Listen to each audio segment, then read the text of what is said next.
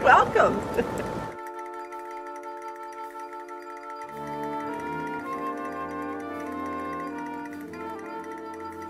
I'm Jones, I'm Mary's husband. We've known each other for 30 years, been married for 26 of them. She went to high school and was brought up in the town of Millville in South Jersey. She's a Greek background, her family were all Greeks and the whole family relatives are very supportive, but for them the idea of art uh, and certainly the idea of moving out of that small community into a big city was very difficult to understand. I adored my father, and I'd wait for him to come home, and I'd run to the corner. And What did your dad do? he had the best business any father could have. My father had a soda fountain, and he made homemade chocolates. You're kidding. No. Isn't that great? yes. I was Did he- envy all the kids in school. Yeah, right on Main Street in Millville, he had it for. How come you're not like 900 pounds? I didn't like to eat the stuff that much, but I just thought it was great. That's what my dad did.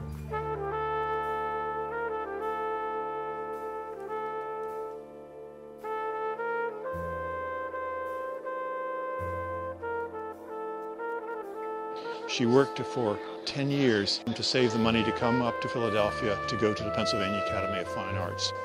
Your husband was saying that about you were you saved up for 10 years to go to the academy. No. That's not true.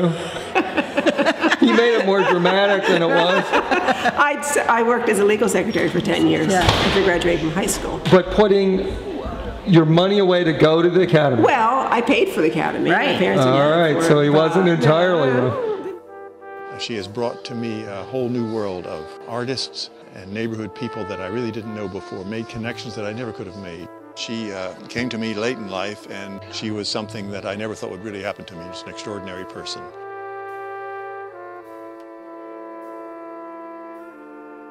This Oh. is Pat. This is Patricia V. Witt, the founder and director of the Barn Studio of Art, But also known as Pat Witt. also known as Pat. Witt. That's what the little children And call I went to study with Pat in the 1960s, 1967. Uh, Pat released me from being a legal secretary.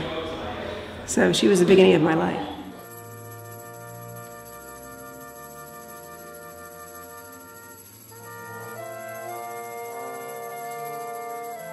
Well, you know, it's so thrilling to see people like Mary, you know, have this all of a sudden a dream hit you and you go on. You know, look look at her. Look here now at this moment. It makes you just so happy. I just get all filled up about it, emotional. Yeah. So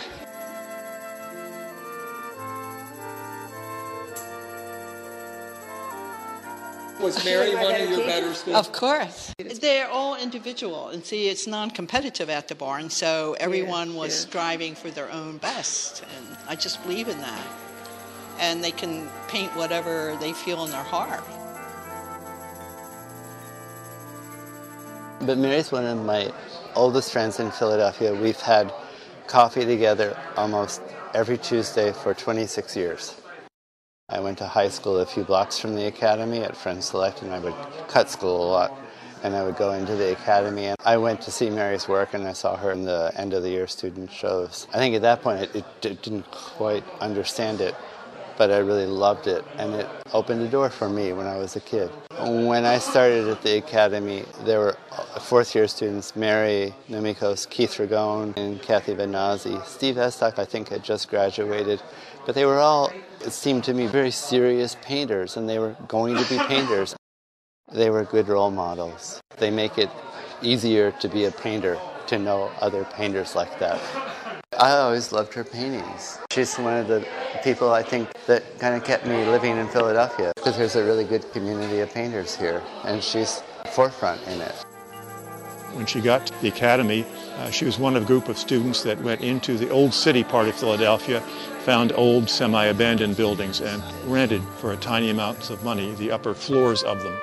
It was a wonderful community of artists because they were all in and out of each other's studios all the time, sharing their experiences, meeting at the diner for breakfast, organizing unusual events and even informal shows of each other's work.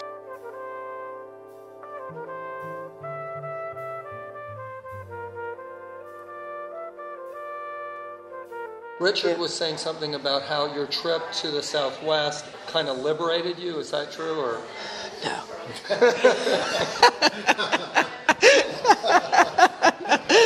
referring to the Wurlitzer Foundation. I was there two times. The second time I was there was an absolutely exciting time for me. I did get very, very impassioned about working, I felt. I guess I broke down some of the censoring I'd done for myself, and I let myself do whatever I wanted to do. Would you like to apologize to Richard? No, no, I like to keep the relationship on an edge. It's good. Just like my artwork, keep it edgy. Uh, my name is Jan Baltzell. I'm a painter and a good friend of Mary's. I'm just really taking in the kind of light that seems to be emanating from behind these beautiful dark foregrounds.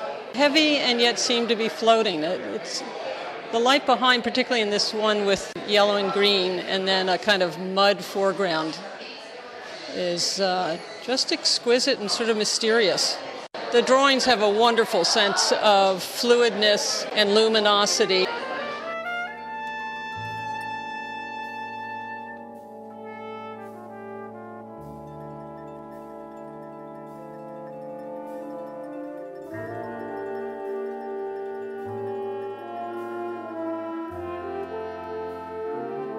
As far as the arts go, I can't imagine anyone being more committed than she. She's in her studio every day and working hard. The combination of liquid and linear form and transparency, translucency, opacity, that's something I've always strived for. And Mary just does it, like she gets it just beautifully and it looks effortless, but of course it isn't. It just looks like it's breathed on.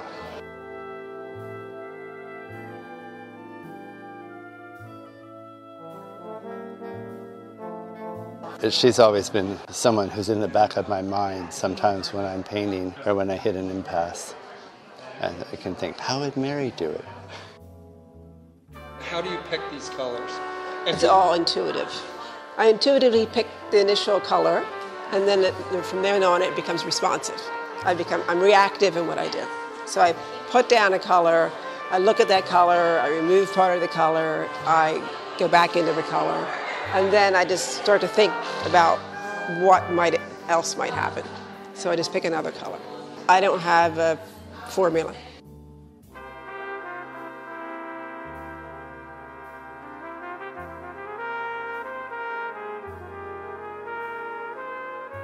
How do you know which kind of material to use at what time? I don't.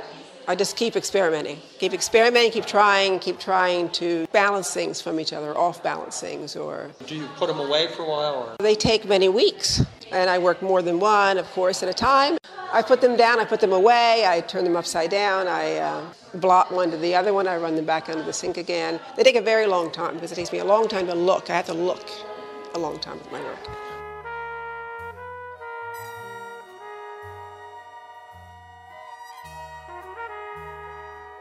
What about abstract versus figurative? Mary, you're quite dedicated to abstract art. right? Yeah, but I don't think it's a versus situation. And a lot of people, in general, I find, who are very educated people, they are very intimidated by art and they feel they have to find the object that is there. And if they can say, oh, a landscape is there, or this is there, oh, there's a bird there, then they feel that they understand the painting. And the painting is a, is a painting of something, whether that it is, it is just color and line. It's, it's just two-dimensional form there, maybe looking like three-dimensional form. So I wish people would relax about art and just look at it, enjoy it or not enjoy it. Images so. is great. I love No, I'm just going to try and call my daughter. Celia could be part of this movie, but no, she claims she has more important things to do. Turn around. Profile, that was good. A little bit profile. Celia, what? Your public is asking for you. Hi. That's what Celia and I were trying to say earlier was the fact that you're dealing with the same thing whether you have subject matter or not. Like she said I didn't, I wouldn't know what size to make a shape. And that's what you're deciding that all the time when you're painting, uh, you know, you're painting inside of a house or a tree. You're deciding what size that tree's going to be in your composition. Right. So in fact, you are dealing with the same things. But some people find that inspiring other people. I found that a difficulty. Right. But it inspires me. That's why I couldn't wait to come here today because it just inspires me. And if I had more lifetime in me, I would probably paint um, spring over on this side.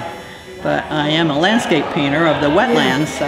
Yeah, But so- they're abstract Yeah, every day. that's what I'm Yeah. saying. It's all, it's all painting.